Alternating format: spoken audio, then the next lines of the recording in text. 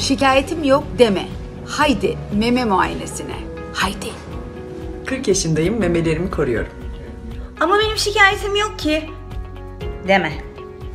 Olmasın diye. Haydi sen de meme muayenesine başla artık. Meme kanserinin farkındalığına varalım.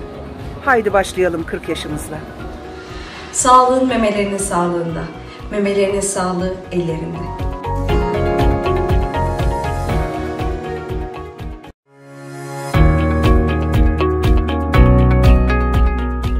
Annene, eşine, sevgiline, kızına en güzel hediye muayene.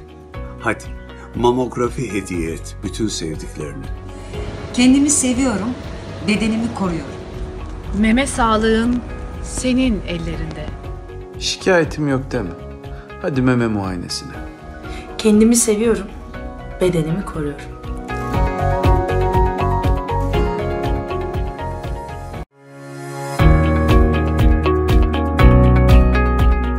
Zamanım yok deme. Sadece bir çay içimi. Hadi meme kontrolüne.